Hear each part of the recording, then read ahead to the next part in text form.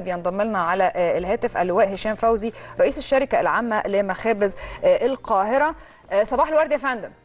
صباح الخير يا فندم. أهلا بيك. أهلا بحضرتك. بداية يا فندم الناس دايما بتبقى متخوفة من ارتفاع الأسعار. هل هيكون في ارتفاع أسعار في الفترة القادمة؟ آه لا طبعا إن شاء الله بإذن الله. إحنا عارفين طبعا مستلزمات الانتاج ارتفعت كلها نظرا لارتفاع أسعار الصرف والأحداث اللي إحنا بنمر بيها. طبعا. لكن الحمد لله طبقا لتعليمات السيد الدكتور علي مصلحي وزير التموين آه إحنا حاولنا إن إحنا نستغل أقصى خامات ممكنة وبجودة عالية جدا بحيث إن إحنا نوصل إن إحنا ندي للمواطنين أسعار زي السنة اللي فاتت وأقل شوية كمان. 50 جنيه وصولا ل 255 جنيه. آه، هنا الفرق في, في النوعيه ولا الفرق في لا لا في المنتج الحجم نفسه؟ بس والوزن. حجم والوزن بس مش النوعيه النوعيه الجوده ثابتة وكل العلب ايدنتيكال تقريبا ولكن هي الفكرة كلها إن هي وزن. ده كيلو ده اثنين ده ثلاثة ده أربعة ده خمسة. سياده اللواء بشكل عام إحنا بنعاني بالرقابة على الأسعار أو عدم الرقابة على ارتفاع الأسعار وبالتالي بيبقى المواطن أو المستهلك ضحية لجشع التجار.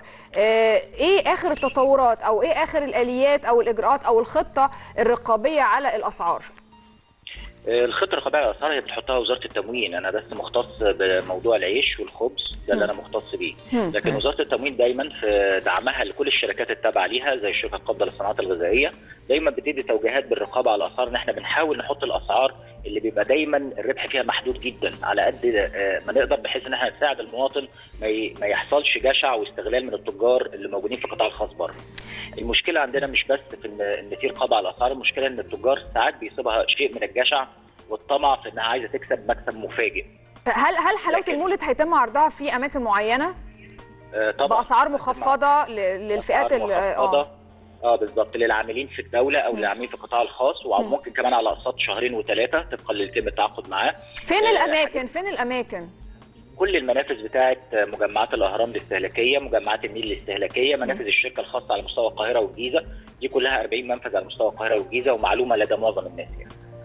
إزاي يعني حضرتك تقصد إزاي بالتقسيط وإيه الضمانات وهيكون يعني إيه الآلية إحنا لما بنتعامل مع شركات قطاع عام فطبعا الآلية بتبقى ثابتة لأن إحنا قطاع عام زيه. لما بنتعامل مع قطاع خاص بيطلع لي أمر توريد وأمر التوريد ما فيهوش مشاكل ده بيعتبر إلزام له قانونا إن هو هيسدد على الفترة الفلانية. والحمد لله الكلام ده تم حضرتك تقصد من الناحية التجارية يعني هو ياخدها يتاجر فيها ولا ياخدها ليه بشكل شخصي لا لا لا لا, شخصي؟ لا, لا, لا, لا لموظفينه لموظفينه. إحنا بنساعد الموظفين والعاملين في القطاع العام والقطاع الخاص.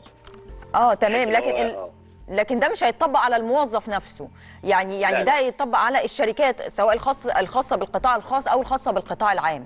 بالظبط اللي يحب ياخد من عندنا بالقسط للموظفين وإحنا جاهزين إن إحنا نورد له بالكميات اللي هو عايزها. 50 جنيه ده سعر الكيلو ولا ده سعر قد إيه كوزن؟ ده سعر الكيلو. كيلو ال... واحد أوه. من علبه الحلاوة فيها 11 صنف حضرتك. امم تمام. 11 صنف من حلويات الموز طيب شكرا جزيلا لحضرتك آه أستاذ هشام فوزي رئيس الشركة العامة لمخابز القاهرة.